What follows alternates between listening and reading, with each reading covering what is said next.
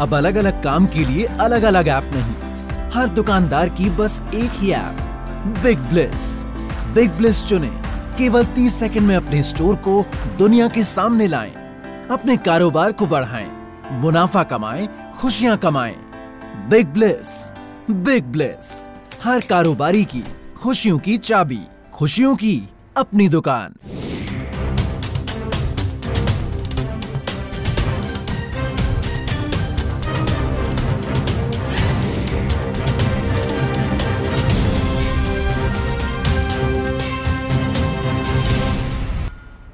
Ukraine, जो कि विश्व में गेहूँ का एक प्रमुख निर्यातक है, इसके द्वारा मार्च से लेकर जून महीनों के दौरान केवल दो लाख टन गेहूँ का ही निर्यात किया जा सकता है। यह आशंका एक सहकारी फर्म ने बताई है। यूक्रेन, जो कि विश्व में गेहूँ का एक प्रमुख निर्यातक है, इसके द्वारा मार्च से लेकर जून तक केवल सिर्फ़ दो लाख टन गेहूँ का ही निर्यात किया जा सकता है।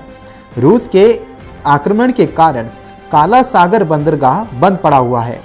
एक सलाहकार फर्म ने बताया है कि बीते जुलाई महीने से आरंभ हुए वर्तमान सीज़न 2021-22 में यूक्रेन से गेहूँ का एक दशमलव आठ तीन करोड़ टन से अधिक निर्यात नहीं हो पाएगा।